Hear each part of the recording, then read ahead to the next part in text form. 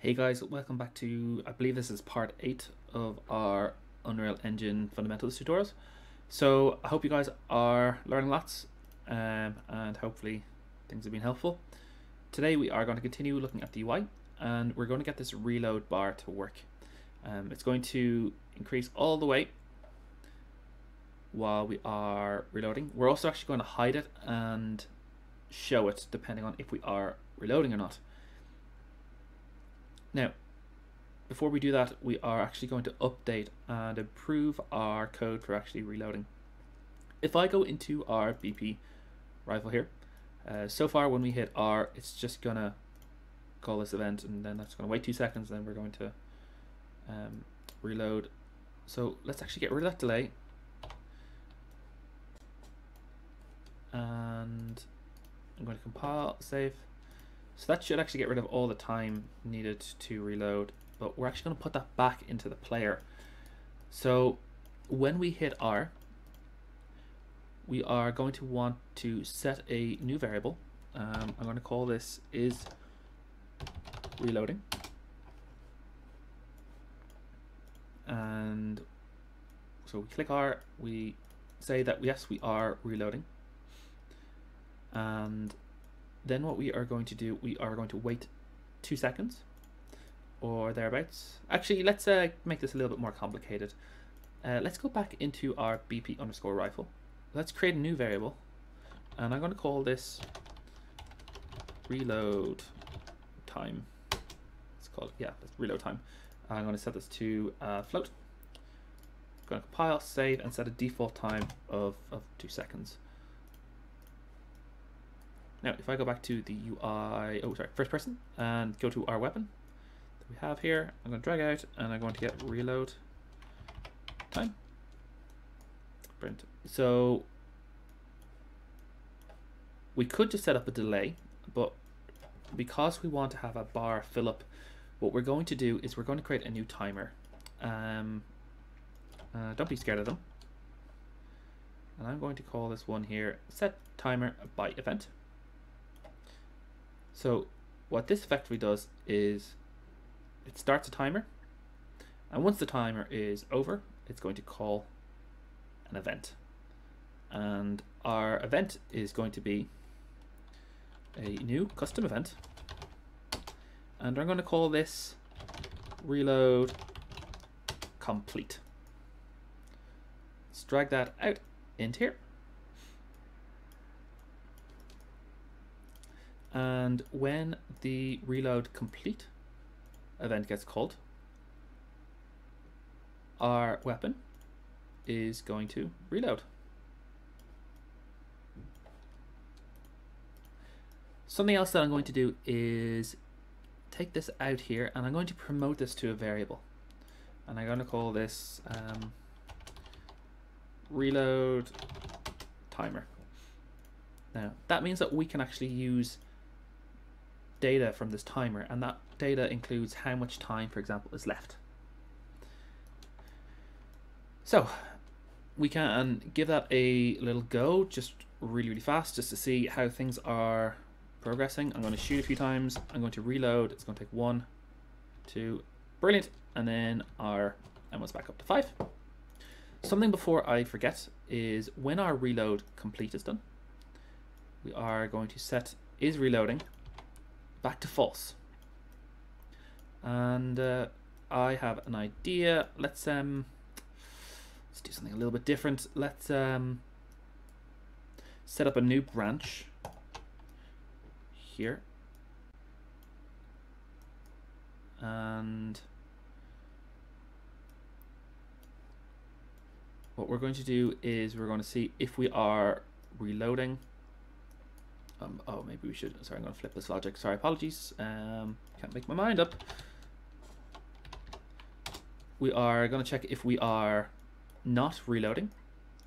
And if we are not reloading, then we're going to start reloading. And we're going to create a timer. And when that's done, we're going to complete reloading. Now, the purpose of this here is basically that we can't just spam R and just keep on trying to reload because that's just going to keep on stopping us from reloading So in case you press it twice or, or something like that, um, just a nice little quality of life thing there. Now I'm going to come back into UI game and let's go into the progress bar. I want to come down to visibility and I'm going to create binding. Now let's go to this one here um, and I'm going to drag out from the little green. Uh, I believe this is going to be a select. Yes, it's going to be a select. S select that to an integer. Now we're going to get the player, get the weapon. Oh, we don't even actually need that. We're going to get the player, um, and then we're going to check is reloading. I'm going to drag that in there. Now, if it is reloading, we're going to set it to visible. Otherwise, we're going to set it to hidden. Um, something else that we are going to do is similar to actually we don't actually have to do that one for for this one perfect yeah um right let's go to uh, designer. Sorry guys i'm trying to speed through this one because i want to get the two this video and the video that's probably going to be uploaded before this. I'd like to get them up on the same day. Let's go to the progress bar and let's go to this percentage here. I'm going to create a new binding. And we're going to come down to player and we're going to get the player. Now, what we are going to get is the reload timer. And we also want to get that weapon. So the percentage is going to be made up of how much time has passed in the reload timer divided by the overall reload time that the gun has. So get reload time. And then this one is we're going to get elapsed time. So if no time, so if one second has elapsed and the overall time it takes is two seconds, that would be, let's say, 50% or half or 50%. So that's how the maths are going to work on that. Let's pull that out and we're going to return that. Now, something that we are going to do for this one is we're actually going to make sure that this weapon here is valid. So let's bring out a branch. Um, I did the quick version there, just hold B and click and that will do it for you. And we're going to get weapon is valid.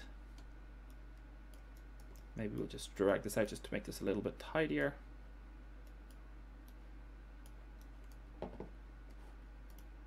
Brill. And I like to set a default. Cool. Now let's just uh, give that a, a little go. I'm going to hit R and as you can see I am reloading and when it reloads it's finished I also cannot spam my R key which is another good one now just for one little quality of life tweak that I am going to make I am actually going to stop us from reloading um, going to stop us from reloading if our ammunition is full because what would the, the point be? Uh, that's number one. And number two, if you shoot the gun, you will are going to stop reloading. So let's do that now. So let's get the weapon. And let's get the current magazine and let's get the Max magazine.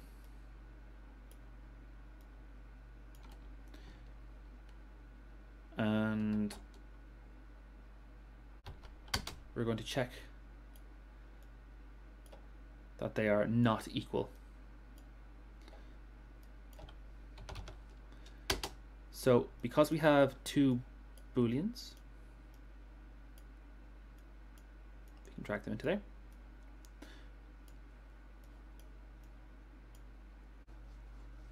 If either we are reloading or the magazine and the is, is full, we're not going to to reload.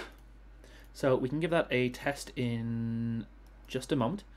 Now guys, with that, I'm going to call it a day on our basic UI. Hope that you've uh, learned one or two things anyway. Um, in our next bunch of episodes, I think we are going to look at pickups. So currently there is actually one pickup in the game, and that is the rifle. But we are going to work on a health pickup, and I think maybe what we might do is is add one or two extra ones. Who knows? Anyway, till then, guys, stay safe, stay sound, stay awesome, and I'll uh, catch you in the next one. Uh, one of my friends actually said, like one of the testers who actually watches the, the videos before other people, he actually said, oh, maybe it'd be a good idea to, to leave homework for people.